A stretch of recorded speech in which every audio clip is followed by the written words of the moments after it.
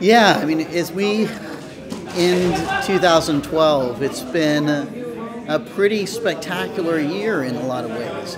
The movement for trans equality continues to grow. We've had some spectacular advancements this year, a lot of them done pretty quietly by the Obama administration and, and some of the staff that they've got in place.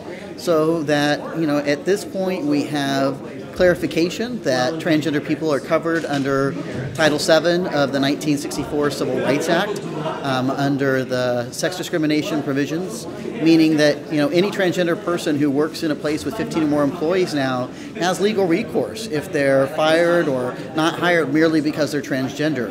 We didn't have that kind of protection, um, you know, before May. So that's a, a, a incredible advancement.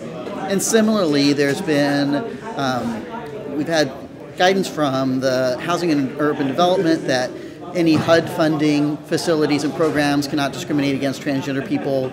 There is the ability to get a passport, um, which most of us were not able to for a long time with the accurate name and gender. Um, with the fact that federal employees now have um, employment rights as transgender people, there is increased evidence that suggests that um, the Affordable Care Act's non discrimination provision should be interpreted to include transgender people.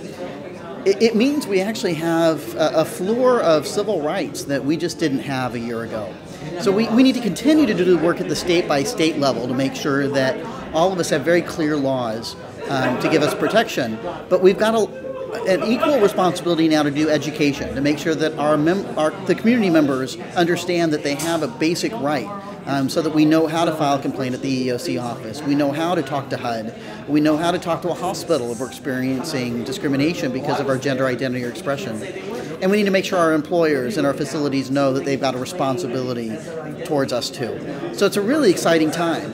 You know, I think we'll be interested to see what happens since the reelection of Obama.